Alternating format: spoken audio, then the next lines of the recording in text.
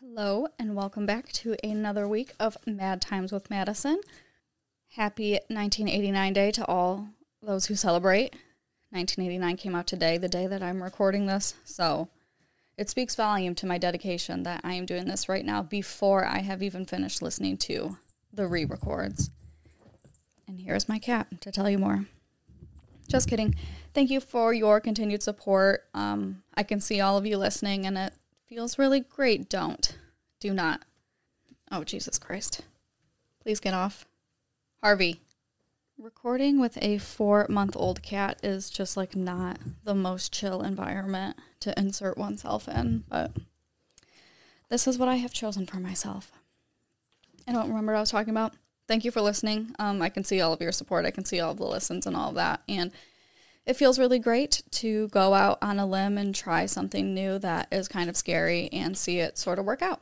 So thank you. And don't forget, you can always subscribe on Apple Podcasts or the Patreon if you want that episode every Friday, also.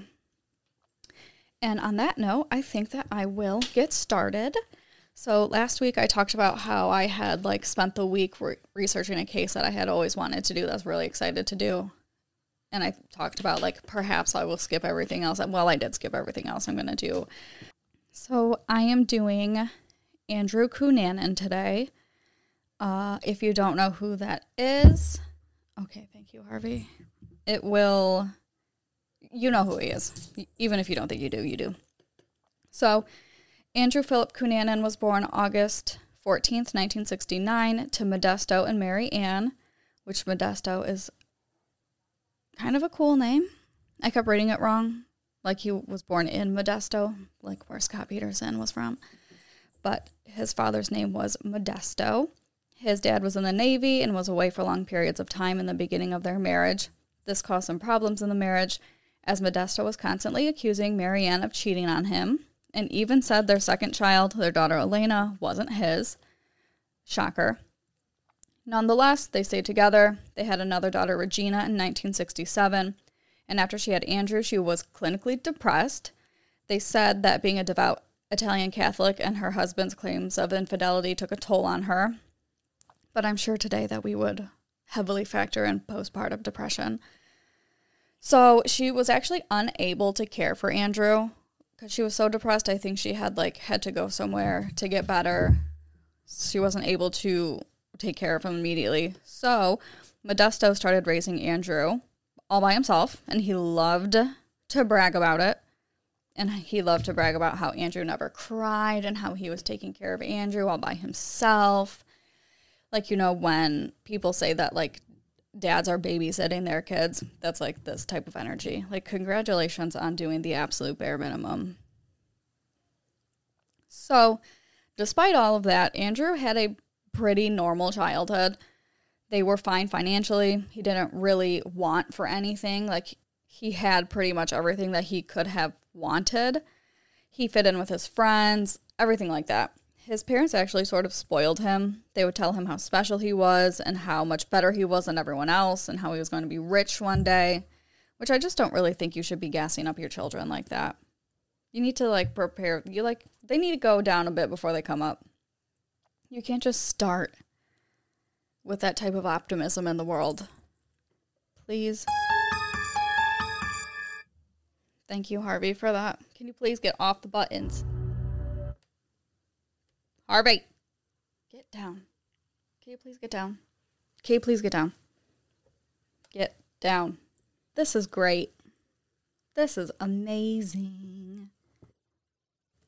Okay. Get down. Get down. So, anyway, they're gassing this kid up. They would even buy him a sports car. They let him have the master bedroom. This is this is Regina George. This is the male oh God, Harvey. Get down, please. Stop. Ah. Amazing. I'm going to leave all that in there. I don't care. So, male Regina George, where were we? His family is, they're too much. You can't, you can't give this much. It, they sort of described Andrew as like the white sheep of the family.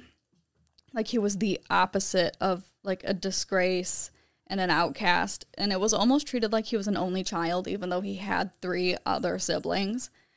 His parents were still regularly fighting, and it didn't outwardly affect Andrew, but it would always be in the back of his mind. He was taking note of how his family was, how his mom was scared of his dad, how his dad controlled all of them, and he just assumed that all families looked happy but actually weren't because he was aware that like to the outsider looking in, everything probably looked great and he knew that it was all a facade. He's like, they think this, but I know for sure that that's not what's going on.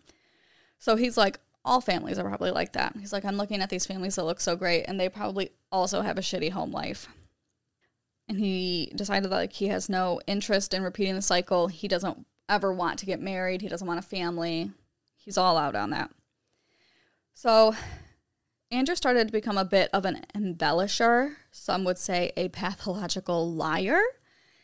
I think he just got sick of his home life and family, so he decided to just pretend they weren't like that. He's like, okay, well. But what if they weren't?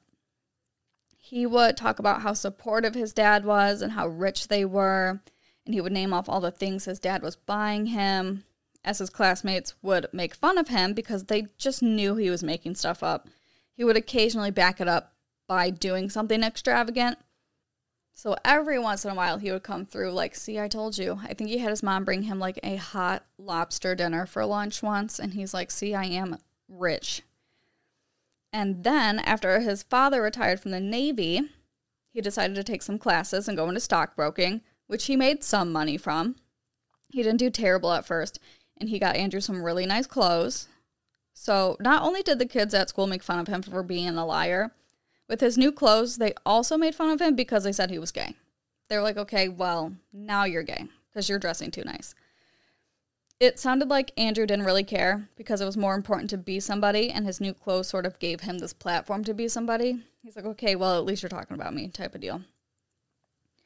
His parents ended up transferring him to a private school when he was 12 anyway, where he fit right in with the other people who dressed and acted like him. So it was just like a school of Andrew Cunanan.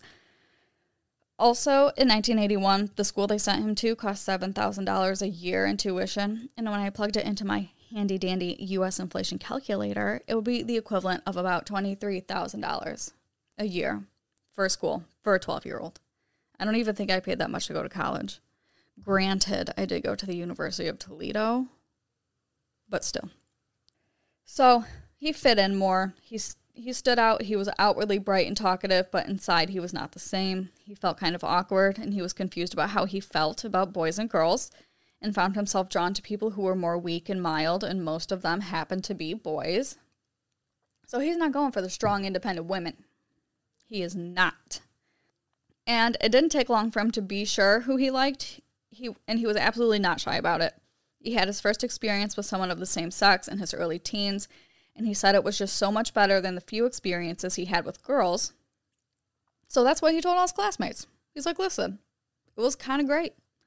The boys thought he was kidding because he was so upfront about it. They're like, you are fucking with us. And honestly, that worked in Andrew's favor because he was so open and passionate about it. It was almost impossible for people to make fun of him for it. So they just left him alone. They continued to be his friend which kids are terrible. And yes, this sounds like the bare minimum of decency, but I think it's kind of a semi big deal. First of all, what is this? The 1980s, and factoring in that kids are so, so mean. I think it kind of a big deal that they decided to stay friends with him and not give him shit for it. So by the time he was 15, he looked old enough where he could frequent the gay bars and drink without any problems. I am so sorry if I'm making mouth noises. I'm trying really, really hard not to.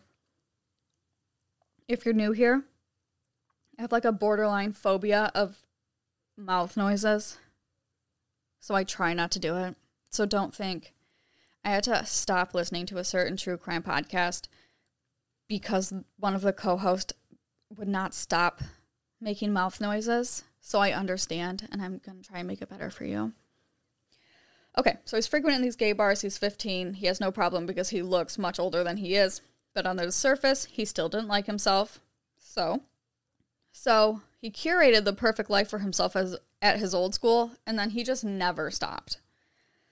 So now he was like curating his perfect self. He's like, okay, my childhood was focused on making sure people thought like I had a good home life, had good parents and a good family, but like now I want people to think that I'm happy and I'm great. He wanted to be glamorous. He pretended to be Latino instead of Filipino, going by the name Andrew De Silva or David Morales at the clubs. He would change his personality every night. The crime library said that people would spend hours with him one night and then not recognize him the very next night. That's like how much he would change. He just really did not like parts of himself, so he reinvented like an entire new self. Andrew Cunanan ceases to exist. He was also voted most likely to be remembered in high school. And after he graduated, he enrolled at the University of California to study history, which he didn't do great at. First of all, because his it was his parents who really wanted him to go to college. I don't think he really wanted to go at all. And second of all, he was still really focused on the club scene. He like was not passing his classes because he would rather go to the clubs. The clubs. We're all fam fam in the club. If you haven't watched Broad City, it is fantastic. Okay. And it was in this era of club scene that Andrew sort of discovered what we will call now sugar daddies. He discovered sugar daddies. He realized that other men his age were going after the much older, wealthier guys who frequented the clubs. So he's like, okay, well, why am I going for these young hotties and everyone else my age is going for these old dudes? What do they know that I don't know? These were men with careers and families who would just pay the gay men at these clubs for like their little fantasies on the side. And he wouldn't have just one night stands with these wealthier men. He would say that one night stands were meant for men like construction workers and policemen. And these wealthy men paid well. And Andrew knew what they wanted. And they both knew that he was a male prostitute. He knew he could be in high demand. Like he really after he discovered sugar daddies, he was like, "Oh, this is this is my thing. I know what I'm worth. I know what I can bring to the table." And honestly, so did the people he was clienting. From them, he got things like a $30,000 car from others, they would just give them, not them, they would give him like their credit cards to use whenever he wanted on whatever he wanted. He enjoyed the fine life with these people like he always wanted. He was going to parties in uptown apartments. He would be living in their secret apartments. He would be invited to events as these men's like assistant or associate. So while Andrew is seemingly thriving, his family is falling apart. His father was a horrible stockbroker. Stockbroker? Stockbroker? Oh, wow.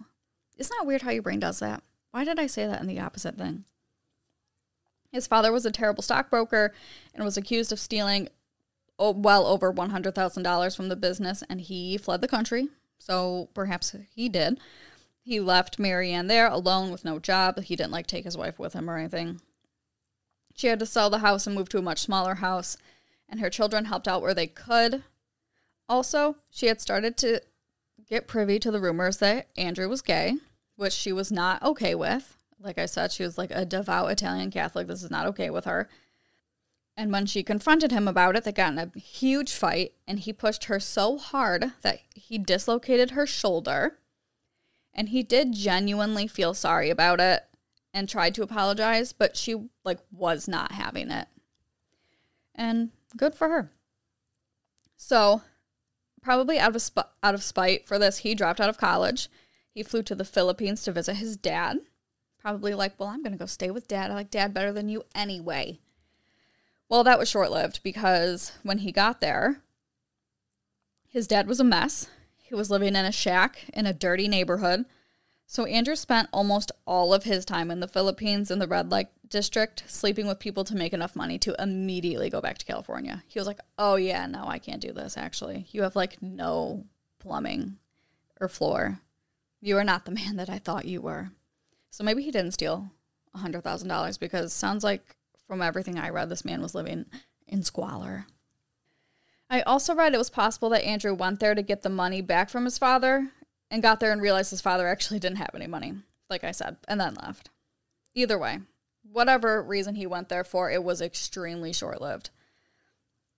So he got back. San Francisco was a breath of fresh air to Andrew. He spent a lot of time in the Castro district, being his favorite alias, um, Navy Lieutenant Dan Cummings, his favorite person to pretend to be.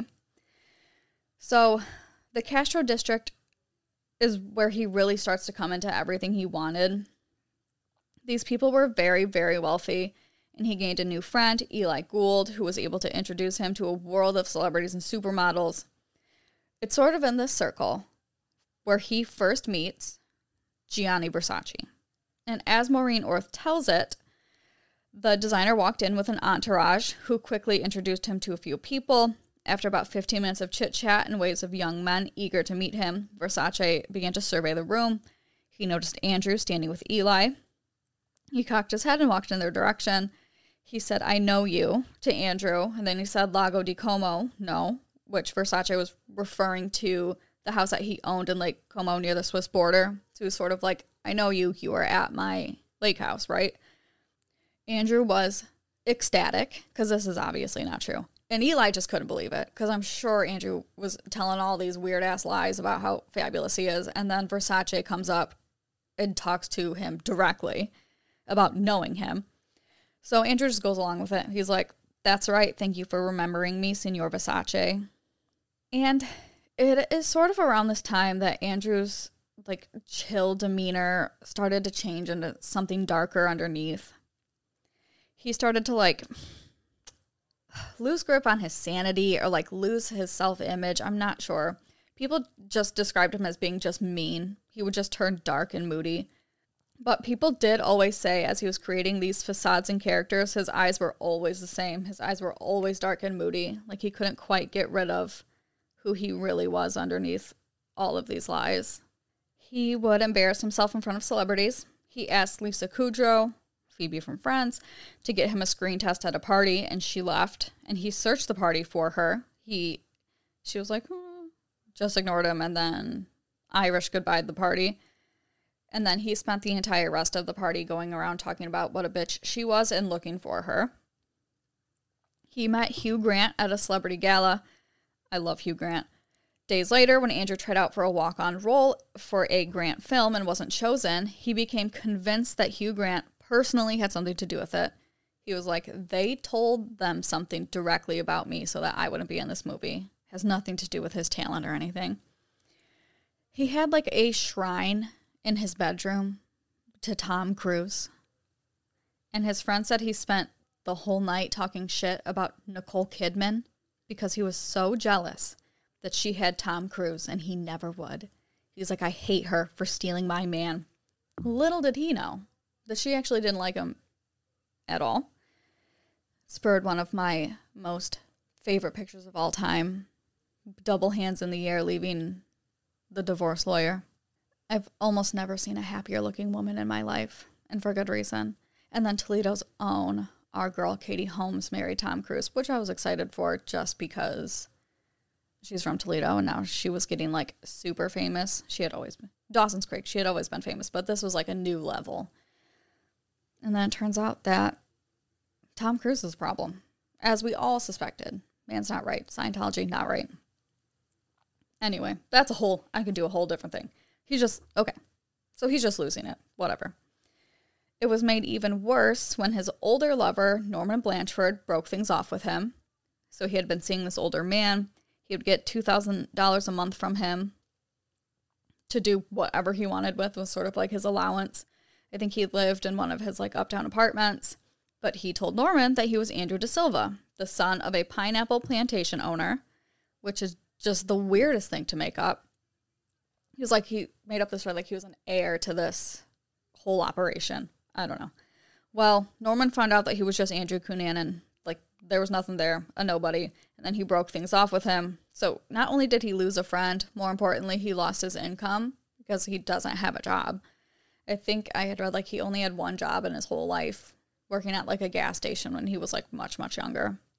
So, not only is he mentally losing it, at this point, he had just turned 28, which is young. Don't get me wrong. But Andrew said at that time, passing your mid 20s in the gay scene was sort of like considered old and on your way out. Probably like modeling or football. Because 28 is not old. It's not. I'm only saying that because I'm 30. So, anyway, 28. He's on his way out. He's considered old. He has almost no friends. So, he just also physically started to lose it. He gave up trying. He stopped cutting his hair and wearing nice clothes like he loved. He gained 30 pounds. He started drinking and doing painkillers. He had convinced himself he had AIDS because he had several of the symptoms and he still believed it even when the test came back negative. So he has a lot going on in his mind. He's not okay. And then to add to all of that, his two lovers that he had been with had started seeing each other behind his back. So, Jeff Trail was a young Navy officer when he met Andrew in 1992. They secretly saw each other for a while until Jeff left the military, sick of sort of hiding who he was because you were not allowed to be gay in the military.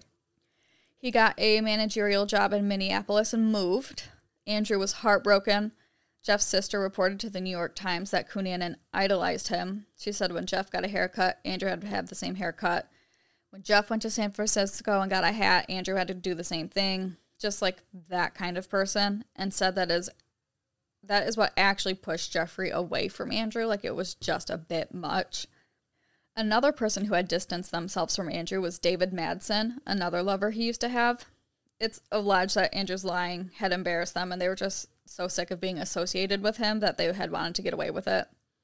So Jeff moved to Minneapolis. And then separately, before Jeff moved there, David Madson had moved to Minneapolis for some separate reason. So Andrew went to visit them in Minneapolis, I think to try and like rekindle something with them. But Jeff and David were said to have stated that they were going to use the weekend Andrew was in town to sort of let him down, tell him they had no interest in a relationship with him, which would suck because Andrew already suspected they were seeing each other behind his back. So this is not going to help their cause of them jointly telling him, like, we don't want to be with you. He's going to say, oh, it's because you two are together. Aside from that, this was sort of a reflection for Andrew, seeing the two of them with their careers.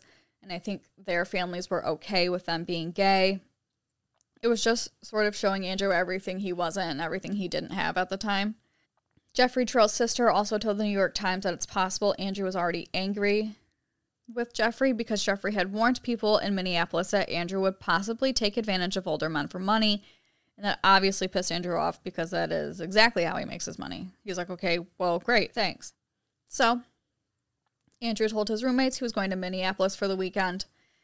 So, once his friends at home figured out where he was going. They called David to warn him. They just wanted to tell him, like, hey, Andrew's been acting really weird lately. David replied, Well, I think he just needs a friend, and I think he's trying to get his life straightened out. He just needs somebody. So David picked him up from the airport on April 26, 1997, and planned to take him to his apartment. Over the weekend, Jeff and David both talked to Andrew separately and both let him know, like, I don't want to get back together with you. And Jeff had even said, like, he wasn't even interested in a friendship with him. They just sort of tried to sever all ties with Andrew at this time. So on Saturday, Andrew is at Jeff's apartment alone and steals his gun. And then on Sunday, Andrew left Jeff a message saying, Hey, I'm at David's. Why don't you come over here? I promise I can make all of our friendships work. Like, let's just, let's talk it out one more time, see if anything can work. Uh, the tension was so bad when they were all in that apartment, like terrible. Jeff and Andrew just started screaming at each other. It just instantly turned into a mess and like quickly turned actually violent. And David is just standing there trying to calm everyone down. Around 9:45 p.m., the neighbors started complaining about how loud it was. David said he saw Andrew dart into the kitchen and grab a heavy club hammer, and Jeff saw this happen at the same time. They're like slow motion, everyone is seeing what is going on. But before anyone could do anything, Andrew hit Jeff in the head over and over again until he fell to the ground. Blood was splattered everywhere. David had no idea what he just saw. He panicked. He helped Andrew wrap Jeff's body up in the rug. For two days, they left Jeff's body in the apartment before they could get rid of it. Around this time, neighbors said they saw the two coming and going from the apartment like nothing was wrong. However, you do have to consider the possibility that Andrew was holding David hostage basically saying like if you don't help me, I'm going to kill you or I'm going to tell everyone that you killed Jeff, something like that. But David wasn't going to work. So his coworkers called him and when they couldn't get a hold of him, they asked his landlord to check on him. Well, his landlord gets to his house and finds a full-on crime scene because remember this took place in David's apartment, not Jeff's. So he gets in the apartment He sees blood everywhere. He instantly sees Jeff's body. So Andrew and David catch wind of this, uh, get the hell out of there in David's car. Andrew also had Jeff's gun with him with three bullets in it and another seven bullets in his pocket. Police found Andrew's backpack in David's apartment, like with his full on fucking name tag on it. And when they were searching Jeff's apartment to figure out why someone would want to murder him, they found a message on his machine from Andrew inviting him over to David so they could talk. So there is almost no mystery to who did this crime to the police immediately. So Andrew is driving him and David out of the city. And about 45 miles out of Minneapolis, Andrew pulls over and shoots David three times. There were two shots in his back and one in the front of his head. So they think he might have tried to jump out of the car and run. Andrew got him in the back and then went up, rolled him over, and finished the job.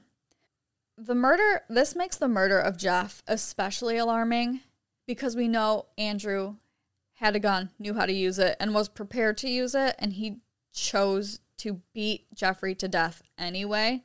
I think that speaks to the amount of rage he had in him, or like how hurtful he wanted to be. Like he wanted it to be terrible for everyone. Unfortunately, Andrew was not done. About a week later, on May 3rd, 1997, he was driving David's car still around Chicago and he saw a man standing on his front porch. That man was 73 year old Lee Miglin.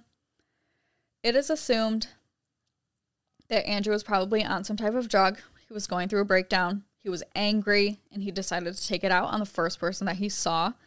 However, there is another theory that Andrew and Lee did know each other and that Lee and Andrew were intimate, and that's why this happened. A former FBI agent said it's unlikely Andrew would have targeted someone randomly and killed them the way he's kills Lee. There were rumors that Andrew knew his 25 year old son Duke, possibly, and that's how this happened. We will honestly never know. Both sides of this are very confident in their assumptions. Lee Miglin's family, to this day, is adamant that Lee had no connection, no idea who Andrew Cunanan was and the FBI and people are saying like it it would be very weird for this super random murder. Like why how did he end up near Lee Miglin's house? Lee Miglin is also the kind of older guy Andrew would have went for. He was very prominent in his city. He was rich, wealthy, whatever. Both sides maintain their stance pretty strongly. So, I don't know. So the account of what happened here is unclear but based on the crime scene and evidence and such, it was thought that Andrew probably led Lee into his own garage. He then bound Lee's hands and taped his face with duct tape, leaving only a nose hole, and proceeded to beat Lee until he stabbed him in the chest with a pair of pruning shears, which are like small shears, smaller than like smaller than your average pair of scissors probably. There are also some places say it was like gardening shears. Is that what I said? No, pruning shears. Some people say it might have been gardening shears, which are like much larger. Um, some places say he was stabbed with a screwdriver. It was like very hard to pinpoint what it was, but either way, he stabbed Lee in the chest. Then, while Lee was still alive, Andrew cut his neck with a hacksaw, which is like that um, super thin saw. And then he took Lee's body and ran it over with his own car. Like several times he ran over Lee's body. Like he did a lot, which is why the FBI is like, it would be very weird to do this to someone you had absolutely no connection to for no reason. And then Andrew goes into the Miglin's house because Lee's wife is out of town at this point. He eats some food, he drinks a glass of orange juice, he watched some of their home movies. He then slept in their bed. He woke up, stole some coins, and then left with the Miglin's Lexus. So his wife gets home. He was supposed to pick her up from the airport. He didn't, so she's kind of worried. She gets home immediately, sees what's wrong. So the F, um, the police obviously found David's Jeep parked like right around the way from the Miglin house, and the Jeep had photos of Andrew in it. So it's not hard to connect the dots. They're like, all right, this is the man from the other murders. So the FBI gets involved because he's like crossing state lines, he's leaving a trail of bodies. They put him on their top 10 most wanted list. which reminds me of America's Most Wanted, which used to full on stress me out as a child. Like I knew in my heart of hearts that the missing man who murdered a bunch of people in Washington was for certain in my backyard right now. I have a lot of paranoia and anxiety. And that just didn't help. Neither did time tests, actually. Anyway, they issued a bolo for Andrew, a be on the lookout, and it proves easy to find him because he had he had been using the car phone. If you don't know, before cell phones were invented, super rich people had um, like corded or maybe even cordless phones in their car. So you can like talk on the phone in your car. Revolutionary technology at the time. So he had been using that, so they were able to track him headed towards Philadelphia. So awesome, great. They alert the police to stop the green Lexus when they see it. He's armed, he's dangerous, be aware. One problem with this this is like being broadcast on the radio or TV or something. So Andrew hears it and then he throws the phone out of the window. He's like, whoops. And then they immediately lost him. They had no idea where he went. They said it was like he just vanished from thin air. And just to say something about Lee Miglin, him and his wife were described as like amazing people. They raised a lot of money for their neighborhood. Their neighbors said they were just like fantastic people. They were like very prominent in the work that they did for their community, things like that. So we'll never really know why that happened, but it is just terrible anyway. So, Andrew then lands in New Jersey undetected, specifically the Finns Point Cemetery in Pennsville. He was aware that the description of the car and the license plate have been blasted everywhere, so he needed to find a different car to use. He saw a red pickup truck parked outside of the caretaker's house at the cemetery and went and knocked on the door. 45 year old William Reese was inside and went to answer the door. Andrew acted like he needed some water to take an aspirin. And when he was getting him a glass of water, Andrew pulled out his gun and told him he needed his truck. So William was like, okay, whatever, fine, take it. I don't want any problems, whatever. So he reached out to give Andrew the keys, and then Andrew shot him anyway. William worked at the cemetery because he genuinely loved the history of it. He was a quiet, nice man who like loved his job there. He was buried with a six gun salute by his Civil War reenactment group. He left behind a wife and a son. So, obviously, again, it was not hard to figure out who did it. He left the Miglin's car there. And honestly, people are starting to panic now. They don't know where he is. They have no idea where he's going because he just keeps popping up in random places. And he's just randomly killing people in these places. Another concern was they were super aware of how easily Andrew could transform into someone else. So they distributed several different flyers with him looking different just in case he was like going to these places and changing his looks. They were also 100% certain that he was going to kill again. So time was of the essence. So time was really of the essence here. And honestly, nobody can think of a motive for why he's doing it. So that's even more terrifying because it truly could be anyone there. They could make sense of Jeff and David, maybe, perhaps. There was a theory floating around that Jeff gave Andrew HIV and Andrew retaliated at him and then killed David as a witness. However, even if that was true, it doesn't explain Lee at all. And then he only killed William to get a car, but he didn't even need to kill William. On May 10th, 1997, Andrew arrived in Miami Beach and ditched William's truck. He checked into a hotel, booking it for monthly increments.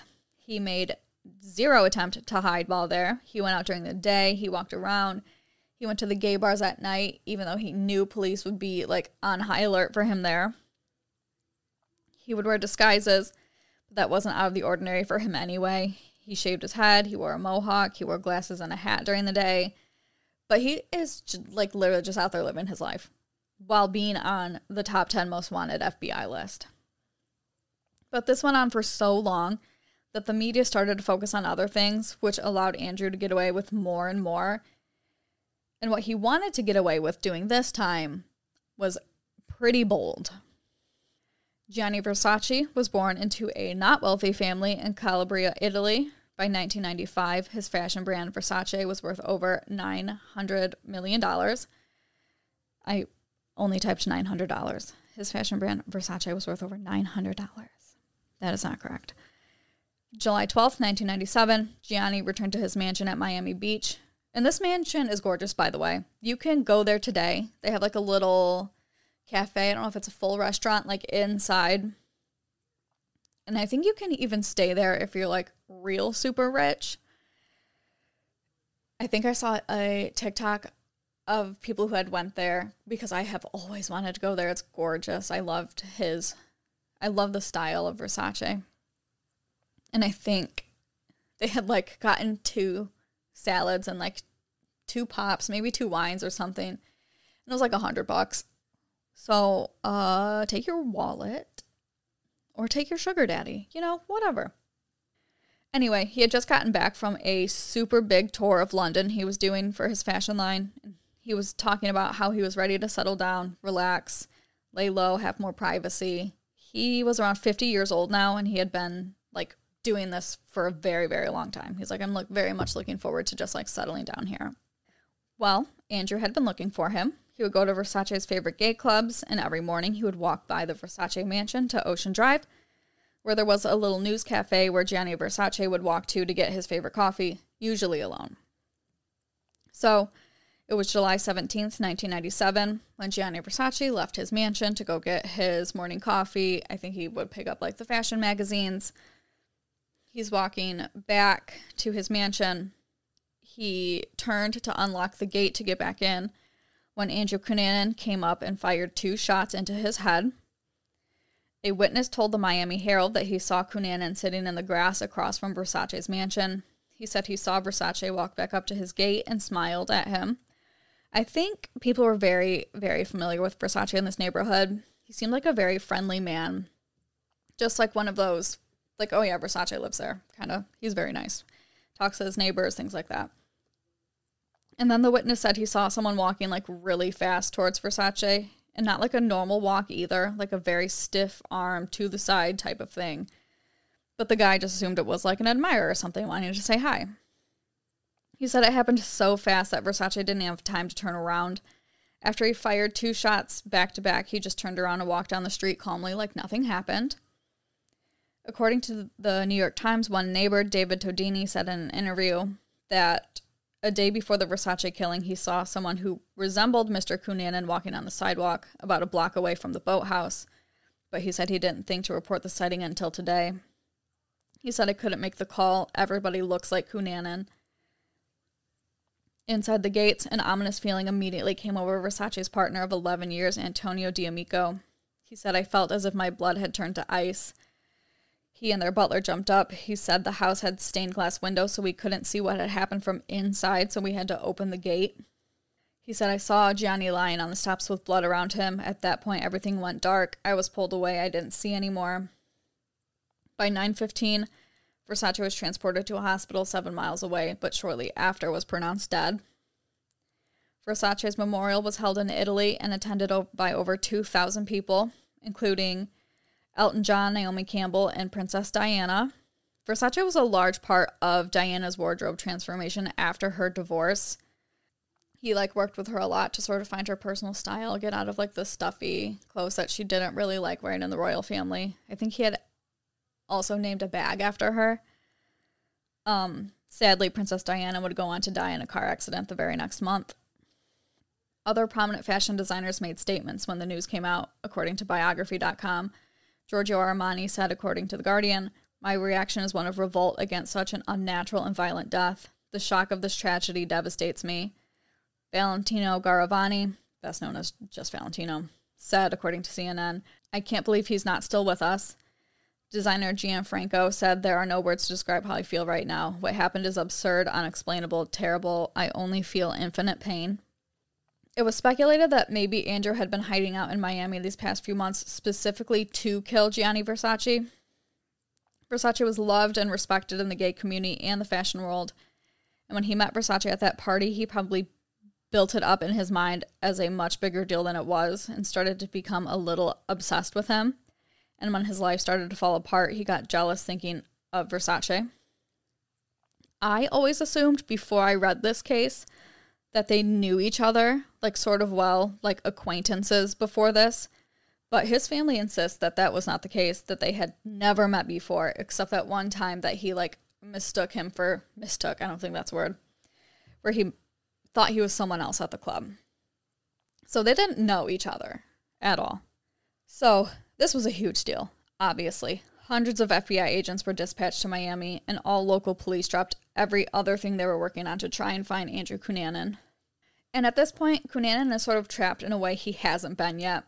He had killed random people across different states that are handled by different jurisdictions. So he was able to just sort of flee and move on. However, when he killed the international celebrity, his name and face were everywhere. Every TV, every airport in the area had something with his face on it, all of that. So he was going to have an extremely hard time moving on after doing this one. Also, every missed opportunity to capture Andrew at this point was just blown up. Every mistake the police made along this multi country murder spree was severely criticized, especially because while Andrew was gallivanting around Miami, people reported seeing him and nothing was done about it, nor was anyone in the area notified that Andrew was in the area. The gay community was especially furious because they weren't notified he was in the area because he the, he ran in their circles and they felt like they were huge targets. One employee of a restaurant he ate at actually recognized him and called 911 but his coworker did not recognize him, hand him his food, let him leave, and the police got there after he had already left. So they were aware he was in Miami and never notified anyone. And if they had, Versace may have never been killed. And honestly, there are several other gigantic mess ups that stop them from catching Andrew. First of all, William Reese's truck sat untouched in the parking garage for two months if they knew Andrew was in town, I don't know why they would not be on the lookout for one, a red Chevy pickup truck, and two, there was obviously an abandoned pickup truck in Miami. Furthermore, and probably even worse, actually, very much worse, Andrew was strapped for cash.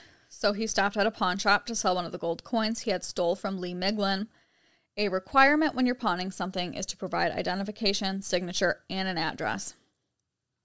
Well, he showed his IDs, signed his real name, and gave the address of the hotel he was staying at.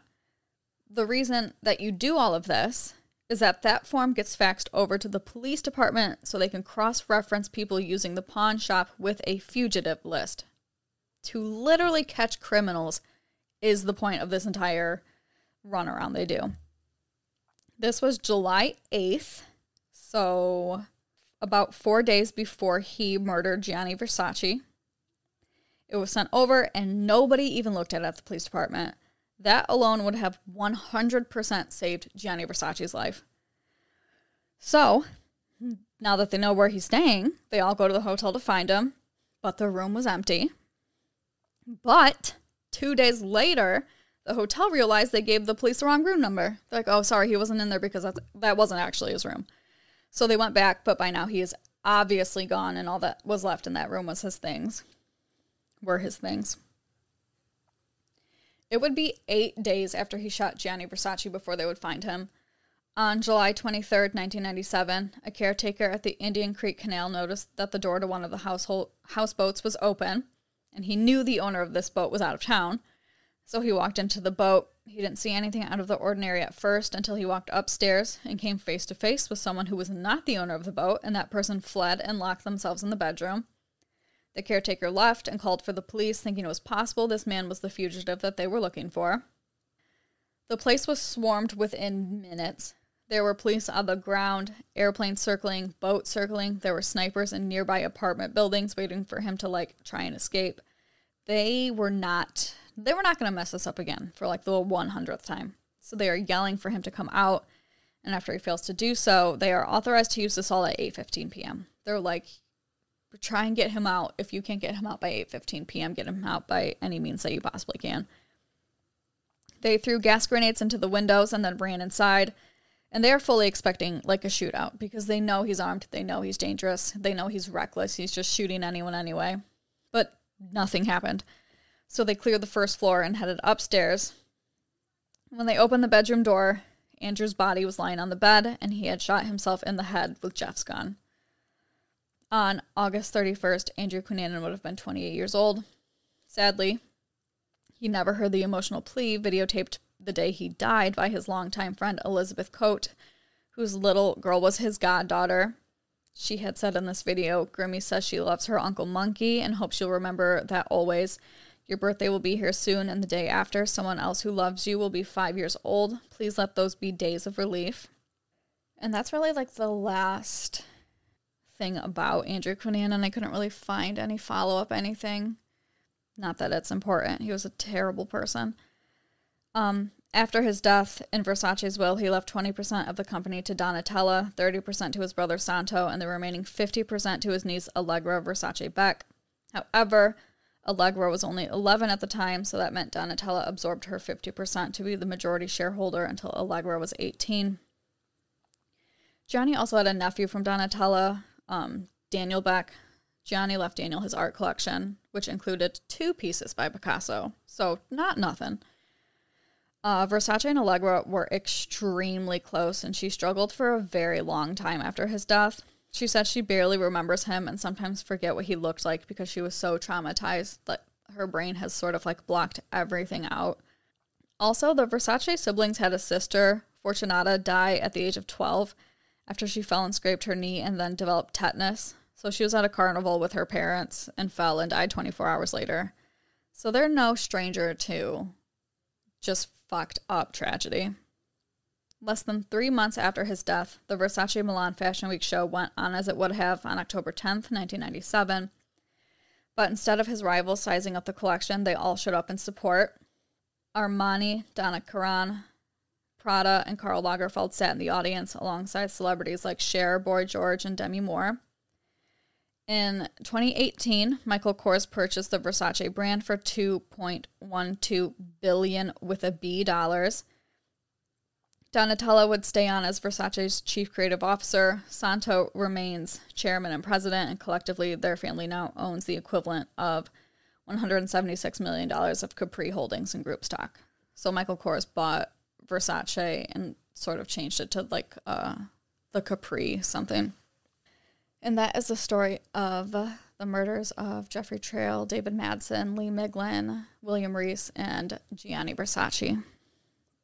If you are unaware, Ryan Murphy did the second season of American Crime Story on this, and it was actually pretty good. I think in that show is where they sort of embellished that Versace and Andrew knew each other, but that apparently was not the case. And I think there's a lot of stuff after Versace's death about like his family. I think Donatella struggled for a very long time with it.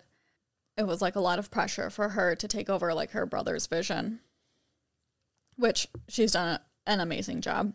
Some of the outfits that she has done are some of my favorite pieces. I think she did the gold dress with the cross that Kim Kardashian wore to the Met, maybe. I love love, love that dress. She might have done the beaded lover bodysuit that Taylor Swift is using on the Eras tour. So yeah, Donatella did great, but she was very messed up. I think she said like she had started doing drugs to cope with it, and it was just like just terrible, and honestly for no reason. None of these murders should have happened anyway, but just like a random killing spree and there is a lot of debate of whether to call Andrew Cunanan a serial killer or a spree killer. And I think it's more appropriate to call him a spree killer because I think I don't know a whole lot, but I think the serial killer thing has you have to have like time between victims, like a significant amount of time from the start to the end. And this was just like rapid within months. It was done and over with. So let me know what you think. Let me know if you also thought that Andrew Cunanan and Gianni Versace knew each other because that was kind of shocking to me. And that is all. If you are a subscriber, I will see you Friday to talk about the life and death of one of my most favorite historical figures. You don't want to miss it and I promise it's not six minutes long. I'm still getting used to the lengths of these because I know by page how long something would usually be with Taryn, and it's completely different now because it's just me. So, for instance, this would have been much, much longer. I could have like stuffed this into two parts, maybe. Nah, maybe not. But this would have been like one of the longer episodes. And the one the one shot, that's how they're called anymore. If you're new here, this podcast stemmed from a true crime podcast I did with my best friend. But Friday's episode, the length of it would have been a full episode if it was with Taryn. So I'm just sort of trying to like work through the lengths. I think this one will be like the perfect amount of length. So I will see you Friday for that. If you don't want to subscribe, completely fine. I will see you on Wednesday with a brand new episode. Thank you very much. I will see you then. Bye.